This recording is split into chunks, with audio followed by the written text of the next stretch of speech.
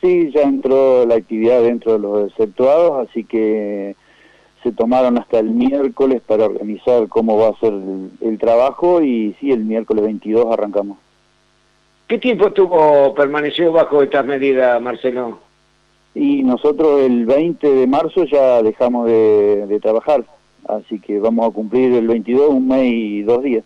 Bueno, ¿y cómo se desarrollaría? ¿Habría alguna medida especial o seguiría, se continuaría como antes o a través de las medidas de distancia? No, no, Daniel. Eh, eh, la atención va a ser únicamente por turnos eh, online. y los trámites de transferencia, inscripciones, obviamente, de, de, transferencia especialmente con ya la precarga hecha de los formularios.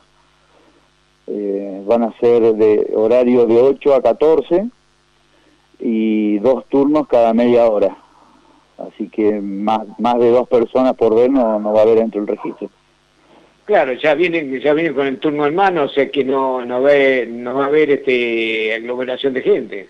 Exactamente, así que le pedimos por favor al que no tenga turno que no se acerque al registro porque no, no lo vamos a poder atender.